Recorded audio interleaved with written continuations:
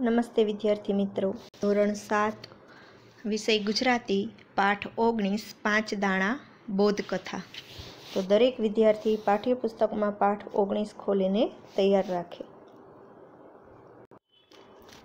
પાઠ ઓગણીસ, પાંચ દાણા, જેનો સાહિત્ય પ્રકાર છે બોધકથા, કે આ બોધકથા ભાષા શિક્ષણ અને વ્યવહાર બોધનો ઉત્તમ નમૂનો છે ઉદાહરણ છે. એક શેઠ પોતાના ચાર દીકરાઓની વહુઓની આવડત અને વ્યવહાર કુશળતા જાણવાની ઈચ્છા રાખે છે. આ માટે શેઠ દીકરાઓની વહુઓને અનાજના પાંચ પાંચ દાણા આપી દાણાને સાચવી રાખવાનું જણાવે છે. થોડા સમય પછી જ્યારે તેઓ પોતાના દીકરાઓની વહુઓ પાસે પહેલાં પાંચ દાણા માગે છે, ત્યારે શેઠને તે વહુઓની સૂઝ, સમજ, આવડત, હોશિયારી અને વ્યવહાર કુશળતાનો ખ્યાલ આવે છે. તો પરિચય મેળવ્યો એ રીતે કે શેઠ છે એના દીકરાઓની વહુને દાણા આપે છે અને તેના ઉપરથી તેને ખ્યાલ આવે છે કે વહુઓમાં કેટલી હોશિયારી છે, સમજ છે, આવડત છે અને વ્યવહાર કુશળતા છે. તો પેજ નંબર ઓગણસાઠમાં કે ધનપાલ શેઠનું નામ દૂર દૂર સુધી જાણીતું હતું. દૂર દેશાવર સાથે એમનો વેપાર ચાલતો હતો. દેશાવર એટલે કે પરદેશ, કે દૂર પરદેશ સાથે તેમનો વેપાર ચાલતો હતો. એમને આંગણે લક્ષ્મીની છોડો ઉછળતી હતી. રૂઢિપ્રયોગ છે, લક્ષ્મીની છોડો ઉછળવી એનો અર્થ થાય પુષ્કળ પ્રમાણમાં ધન હોવું. પુષ્કળ પ્રમાણમાં ધન હોવું. ઘરમાં ખર્ચતા ખૂટે નહીં, એટલે કે ઓછું ન થાય, ખર્ચ કરતાં પણ ઓછું ન થાય તેટલું ધન હતું. પૈસા હતા. આમ છતાં શેઠ ગણતરીવાળા હતા. એટલે કે ગણતરીબાજ વિચારીને કામ કરનારા હતા. એ સમજતા હતા કે ઘરની રાણી આવડતવાળી ન હોય તો અઢળક ધન પણ ખૂટી જાય. ઘરની રાણી એટલે ગૃહિણી, જે ઘરનો વહીવટ સંભાળનાર સ્ત્રી છે તે. અઢળકનો અર્થ થઈ પુષ્કળ, ખૂબ જ વધારે પ્રમાણમાં. કે ધન હોય, ઘણું બધું ધન હોય તો પણ તે ખૂટી જાય. જો સ્ત્રી આવડત ન હોય તો. શેઠને ચાર દીકરા હતા. દીકરાઓની ચાર વહુઓ હતી. દીકરા તો જીવ પરોવીને વેપાર ધંધામાં પડી ગયા. જીવ પરોવીને રૂઢિપ્રયોગ છે. એનો અર્થ થઈ, એક ચિત્ત થઈ જવું. જીવ પરોવી દેવો, એક ચિત્ત થઈ જવું. કે દીકરા તો એક ચિત્ત એ થઈને વેપાર ધંધામાં પડી ગયા હતા. એમની હોશિયારી અને સમજદારીથી શેઠને સંતોષ હતો. પણ દીકરાઓની વહુઓ ચાલાક અને ઘર રખવું છે કે નહીં? ઘર રખવું એટલે ઘર સાચવનારી છે કે નહીં? સાચવીને વ્યવહાર કરનારી છે કે નહીં? એ જાણવાની શેઠને ઈચ્છા થઈ. એમનું પારખું કરવા માટે શેઠે એક યુક્તિ વિચારી કાઢી. પારખું એટલે કસોટી કે પરીક્ષા કરવા માટે શેઠે એક ઉપાય ગોતી કાઢ્યો. એક દિવસ શેઠે ચારે વહુઓને બોલાવીને કહ્યું બેટા, હું આજે તમને દરેકને ડાંગરના આ પાંચ પાંચ દાણા આપું છું. ડાંગર એટલે એક ધાન્ય કે જેમાંથી ચોખા નીકળે છે. તે હું આપું છું. કોઈ વાર એ દાણા હું તમારી પાસેથી પાછા માગીશ. માટે એ દાણા જતન કરીને સાચવી રાખજો. એટલે કે કાળજીપૂર્વક સાચવી રાખજો. જતન એટલે કાળજીપૂર્વક સાચવીને રાખજો. એટલું કહી એમણે દરેક વહુઓને પાંચ પાંચ દાણા આપી વિદાય કરી એટલે ત્યાંથી જવાની છૂટ આપી. વહુઓ દાણા લઈ હસતી હસતી ચાલી ગઈ. મોટી વહુ જરા ઉછાછડી, એટલે કે અવિચારી. ઉછાછડીનો અર્થ થઈ અવિચારી, ઉદ્ધત. અને છીછરી બુદ્ધિની હતી. છીછરી બુદ્ધિની એટલે ઓછી બુદ્ધિની અપરિપક્વ હતી. એને થયું ડોસાઈ કેવા ઝીણા જીવના છે. રૂઢિપ્રયોગ છે ઝીણા જીવના એટલે સંકુચિત મનના. કેના સસરાને કહે છે કે આ ડોસોઈ કેવો ઝીણા જીવનો છે એટલે કે સંકુચિત મનનો છે. આપી આપીને ડાંગરના પાંચ દાણા. કે આપીને શું આપ્યું? પાંચ દાણા એ પણ ડાંગરના. એમ વિચારી દાણા બારી બહાર ફેંકી દઈ એ નિરાતે સૂઈ ગઈ. સસરાજીની વાતનો મર્મ એ સમજી શકી નહીં. મર્મ એટલે રહસ્ય, તાત્પર્ય. તે પોતાના સસરાની જે રહસ્ય હતું, તાત્પર્ય હતું તે સમજી શકી નહીં. ત્યાર પછી બીજા છોકરાની વહુ જરાક લાગણીવાળી પણ લહેરી હતી. લહેરી એટલે ઉડાવું, તરંગી હતી. એને થયું સસરાજીએ ભલે પાંચ દાણા આપ્યા, એ તો એની પ્રસાદી ગણાય. એને મામૂલી ચીજ ગણી ફેંકી ન દેવાય. મામૂલી એટલે તુચ્છ, સાધારણ વસ્તુ સમજીને તેને ફેંકી ન દેવાય. પાછા માગશે ત્યારે જોયું જશે. કોઠીમાંથી કાઢીને બીજા દાણા આપતા સી વાર લાગવાની છે એવો વિચાર કરતી દાણા ફોલી કણ ખાઈ ગઈ. એને પણ સસરાજીની વાતનો મર્મ ન સમજાયો કે પહેલી વહુએ બારીની બહાર ફેંકી દીધા જ્યારે બીજી વહુએ એમ કહીને દાણા ફોલીને ખાઈ ગઈ કે જ્યારે માગશે ત્યારે કોઠીમાંથી પાછા દઈ દેશું. પણ એ પણ તે વાતનું રહસ્ય સમજી શકી નહીં. ત્રીજા છોકરાની વહુ જરાક ઝીણા સ્વભાવની હતી. ઝીણા સ્વભાવની એટલે ચીવટવાળી.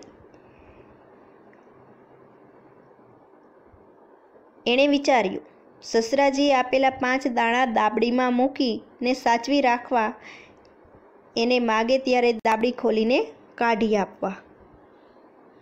કે ડબ્બીમાં ભરીને મૂકી દેવા માગે ત્યારે એમાંથી આપી દેવા. એમાં કંઈ મોટી વાત નથી. એમ વિચાર કરી એણે એ દાણાને દાબડીમાં મૂકી સંઘરી રાખ્યા. સંતાડી દીધા. ત્રીજી વહુ પણ શેઠની વાતનો મર્મ સમજી શકી નહીં, તેની વાતનું રહસ્ય સમજી શકી નહીં. હવે આવે સૌથી નાના દીકરાની વહુ. ચતુર અને સમજુ હતી. એને થયું, સસરાજીની વાતમાં કંઈક ઊંડો મર્મ હોવો જોઈએ. વાતમાં મર્મ હોવો રૂઢિપ્રયોગ છે, તો વાતમાં રહસ્ય હોવું.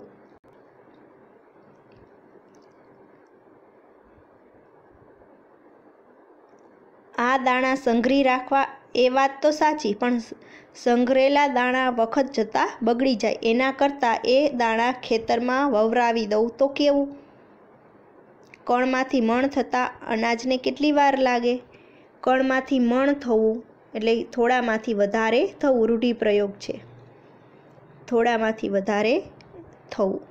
અને સસરાજીને પણ એ જરૂર ગમી જશે. આમ વિચાર કરી એણે આ પાંચ દાણા પોતાના પિયરમાં મોકલાવીને વવરાવ્યા. એટલે માતા પિતાના ઘરે મોકલીને વવરાવી દીધા. એક સાલ ગઈ, એટલે એક વર્ષ પૂરું થયું. બીજી સાલ ગઈ. પાક પાકતો ગયો ને વહુ એને ફરી ફરી વવરાવતી ગઈ.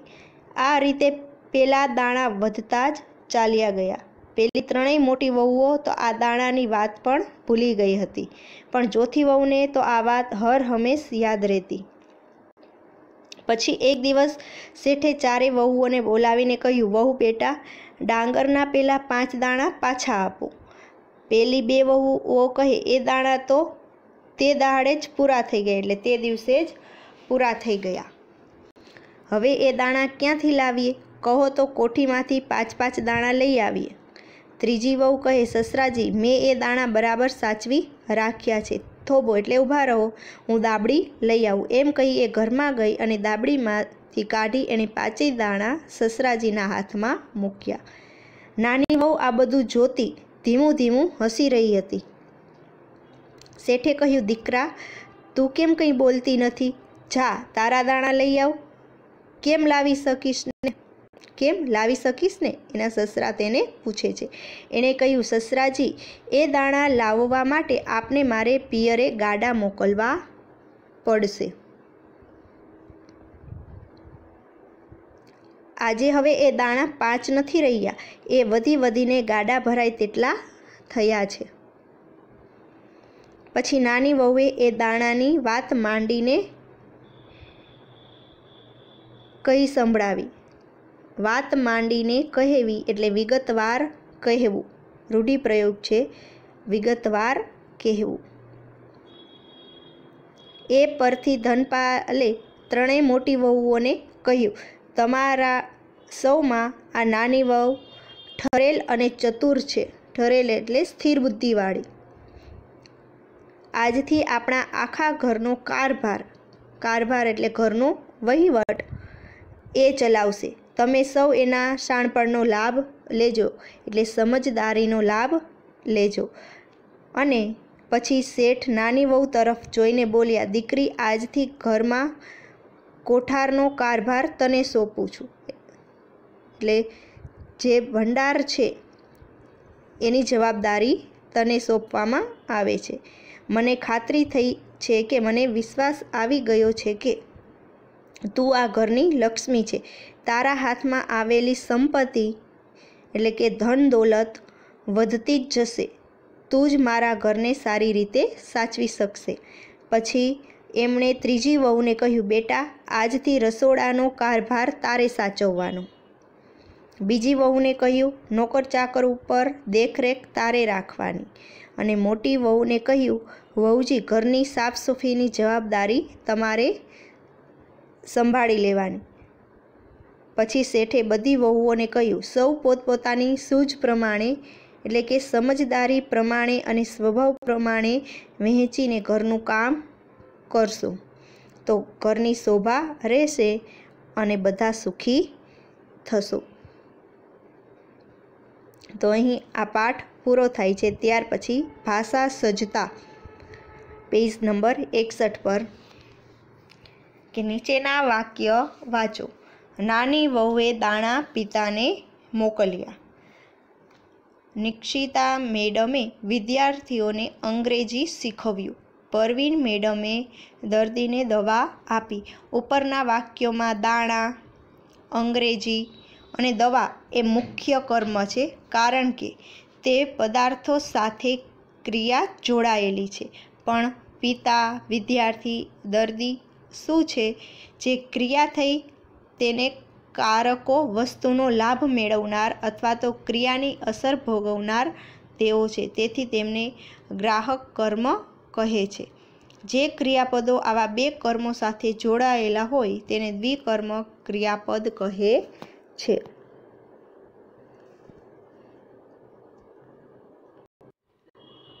ત્યાર પછી અભ્યાસમાં વિકલ્પ છે કે ધનપાલ શેઠ ગણતરીવાળા હતાનો અર્થ શો થશે?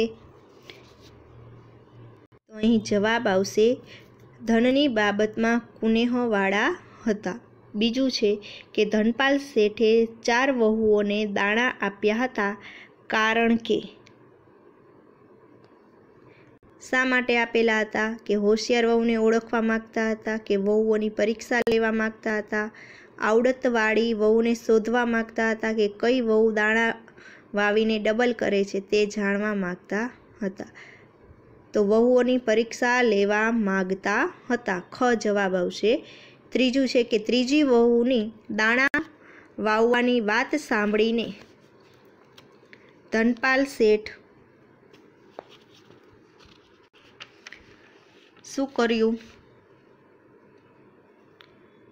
બે વહુઓ પર બહુ જ ખીજાયા. બંનેને અલગ ઘરમાં રહેવા ચાલ્યા જવાનું કહ્યું કે નાની વહુની રાહબારી હેઠળ કામ કરવા કહ્યું કે ત્રીજી વહુને ઘરની તમામ જવાબદારી સોંપી. તો અહીં જવાબ આવશે કે ચોથી વહુની દાણા વાવવાની વાત સાંભળીને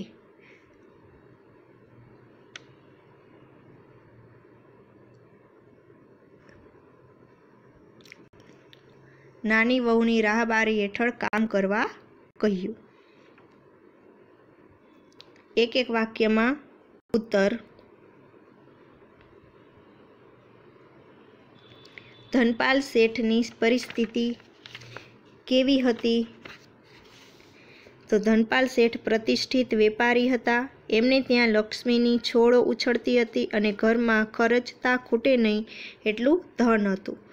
શેઠ ઘરની રાણી વિશે શું માનતા હતા? તો જો ઘરની રાણી આવડતવાળી ન હોય તો અઢળક ધન પણ ખૂટી જાય તેવું માનતા હતા.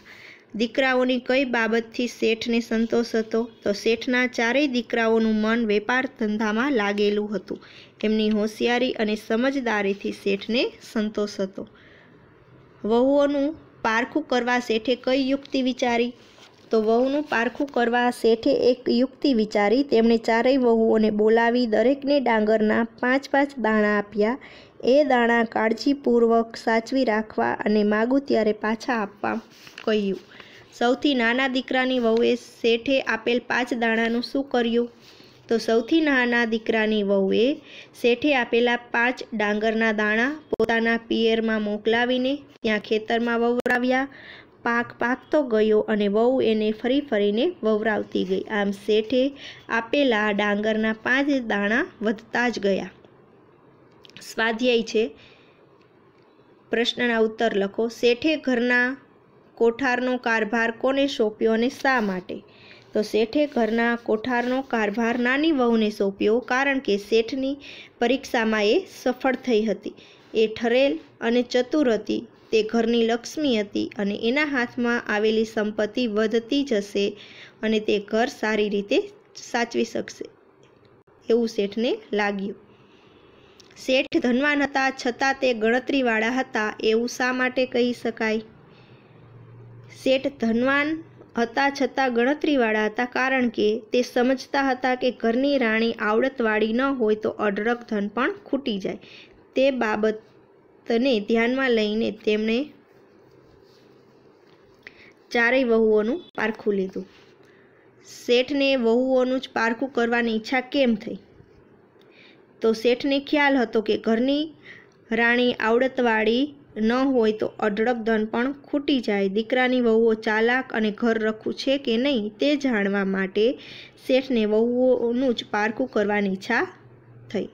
ધનપાલ શેઠે સૌથી નાની વહુને ઠરેલ અને ચતુર કેમ ગણી?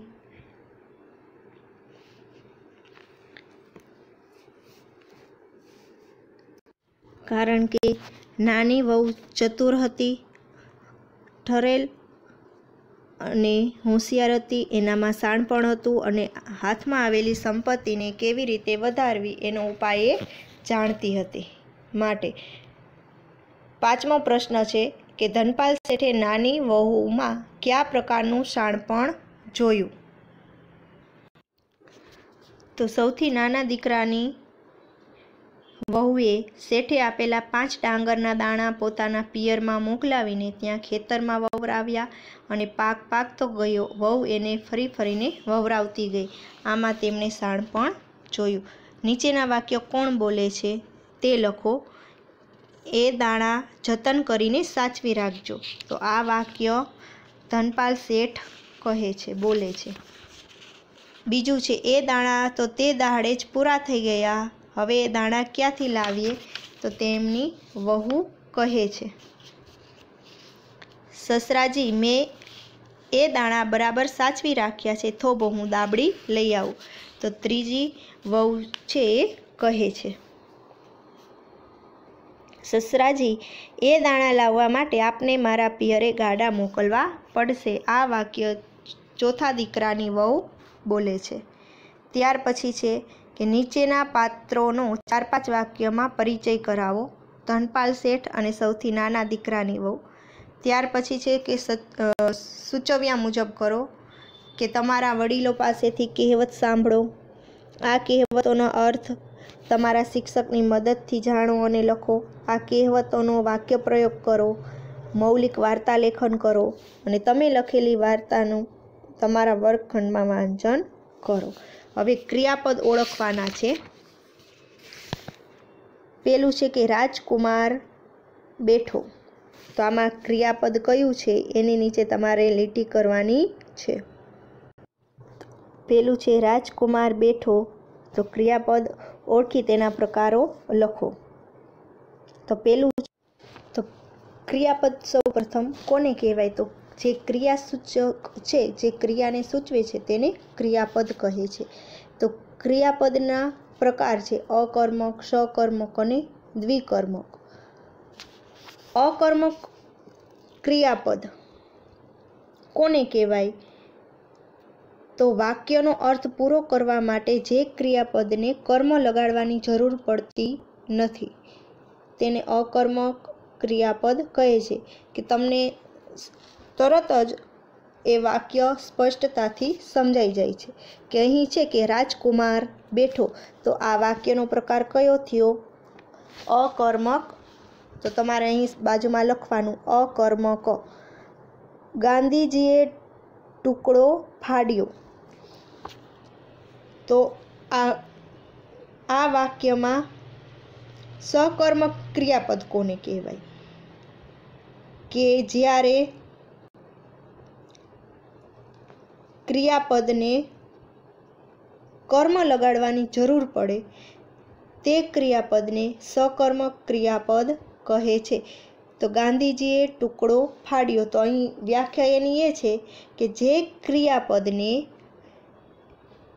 કર્મ લગાડવાની જરૂર પડે કે ફાડ્યો પણ શું? તો કે ટુકડો.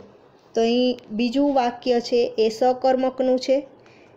ત્રીજું છે, વિશીવાળા મહારાજે દેવશંકરને ભાત પીરસ્યા. તો દ્વિકર્મક. ત્રીજું વાક્ય, દ્વિકર્મકનું છે કે ક્રિયાપદોને શું વડે પ્રશ્ન પૂછવાથી કર્મ મળે છે? તેને કે વિશીવાળા મહારાજે દેવશંકરને ભાત પીરસ્યા. તો આ થયું દ્વિકર્મક ક્રિયાપદ. ચોથું છે કુસુમા યુદ્ધ રડ્યો. અકર્મક ક્રિયાપદ. પાંચમું જીવરામ ભટ્ટ જમ્યા.